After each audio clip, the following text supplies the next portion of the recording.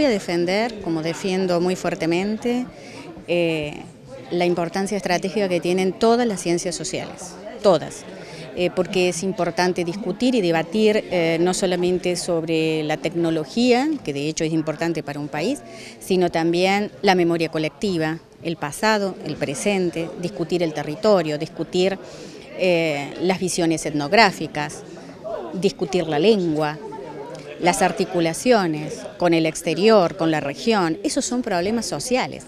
Y esa es una competencia de las ciencias sociales, que no puede ser resignada, que no puede ser abandonada, porque los lugares y los espacios de discusión que se ceden y se abandonan, se ocupan.